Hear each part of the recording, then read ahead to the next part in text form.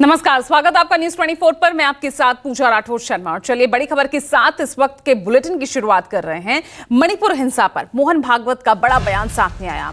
कहा, एक साल से शांति के इंतज़ार में मणिपुर। मणिपुर का हल प्राथमिकता से हो, ये बात कही है आरएसएस चीफ मोहन भागवत ने। और साथ ही कहा कि मणिपुर अभी भी जल रहा, त्राही त्राही कर रहा। नकारात्मक प्रचार से समाज में मनमुटाव। तो देखिए, ये बहुत अहम बयान। आरएसएस चीफ, आरएसएस प्रमुख मोहन भागवत की तरफ़ से आए हैं और उन्होंने सीधा सीधा मणिपुर को लेकर कहा, नकारात्मक प्रचार से समाज में मनमुटाव और, यहाँ पर प्रमुखता से ध्यान देने की ज़रूरत है। क्या कुछ कहा? सुनिए। अब एक साल से मणिपुर शांति की राह देख रहा है। उसके पहले दस साल शांत रहा। पुराना गन कल्चर समाप्त तो हो गया ऐसा लगा। और अचानक जो कलह वहाँ पर उपज गया या उपजाया गया, उसकी आग में अभी तक जल रहा है, त्राही त्राही कर रहा है, कौन उस पर ध्यान देगा? प्राथमिकता देके उसका विचार करना ये कर्तव्य है। जिस प्रकार प्रचार के दौरान हमारे करने से समाज में मनमुटाव बढ़ेगा, दो गट बटेंगे, आपस में शंका संशय उत्पन्न होगा, इसका भी ख्याल नहीं रखा गया। और विनाकारण संघ जैसे संगठनों को भी उसमें खींचा गया। टेक्नोलॉजी का सहारा करके असत्य बातें परोसी गई। नितांत असत्य। क्या शास्त्र का, विज्ञान का, विद्या का ये उपयोग है? सज्जन विद्या का ये उपयोग नहीं करते। ऐसे से देश कैसे चलेगा भाई? आखिर सबको देश ही चलाना है ना। कि हमारे देश के सामने चुनौतियाँ समाप्त नहीं हुई अब सरकार बन गई।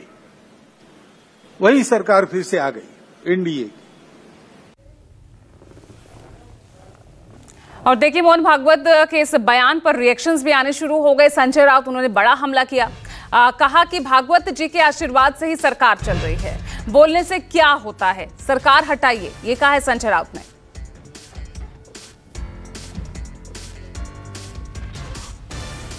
बोलिए सरकार को हटाइए। बोल के क्या होता है? मणिपुर में क्या हो गया? कल कश्मीर में क्या हो गया? मोहन भागवत जी आदरणीय है, बोलते हैं, लेकिन सरकार तो उनके आशीर्वाद से चल रही है ना? बोलने से क्या होता है? और चलिए अब इन दोनों ही बयानों को लेकर मेरे सहयोगी इंद्रजीत सीधा मुंबई से जुड़ रहे हैं। तो इंद्रजीत, यहाँ पर मोहन भागवत के इस बयान के बाद जिस तरह से विपक्ष मुखर होता नज़र आ रहा है एक नई राजनीतिक बहस छिड़ गई है।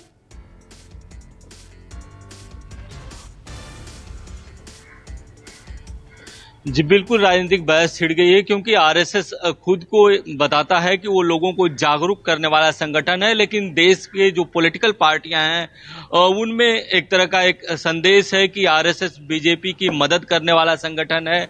और पिछले कुछ दिनों की अगर बात करें तो आरएसएस इस चुनाव में थोड़ा कम दिखा था। यही कारण है कि जो बीजेपी अध्यक्ष जेपी नड्डा हैं, उनका एक बयान आया था कि अब बीजेपी इतनी बड़ी हो गई है कि उन्हें आरएसएस के सहारे की ज़रूरत नहीं।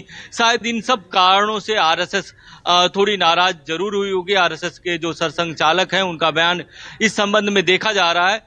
यही कारण है कि जो विपक्ष है वो हमलावर हो गया है। विपक्ष का कहना है कि आ, मोहन भागवत ने बोलने में काफ़ी देर कर दी क्योंकि मणिपुर पिछले एक साल से जल रहा है और अभी अभी तक वहाँ पे जो आग है वो शांत नहीं हुई है। अभी जो मुख्यमंत्री हैं उनके काफिले पर हमला हुआ है।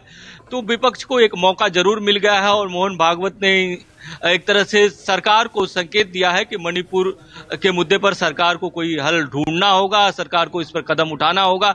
साथ ही दुख भी व्यक्त किया है कि जिस तरह से इस चुनाव में आरएसएस का नाम घसीटा गया, जिस तरह से विपक्ष लगातार आरएसएस को लेकर हमलावर था और कहीं ना कहीं सत्ता पक्ष से भी उतनी पूछ नहीं मिल रही थी। ये कारण है कि वो थोड़ा दुखी ज़रूर दिखे हैं। लेकिन इस पर अब सियासत बड़ी होगी क्योंकि आरएसएस प्रमुख ने पहली बार मुखर होके कहीं न कहीं सरकार को एक तरह से दिशा निर्देश दिया है सरकार को संदेश दिया है कि आप मणिपुर पर कुछ कीजिए। ठीक है तो एक तरफ़ आरएसएस चीफ यहाँ पर बीजेपी को नसीहत देते नज़र आ रहे हैं तो दूसरी ही तरफ़ एक बड़ा मौका या विपक्ष के लिए सवाल उठाने का। बहुत बहुत शुक्रिया इंद्रजीत, इस तमाम जानकारी के लिए।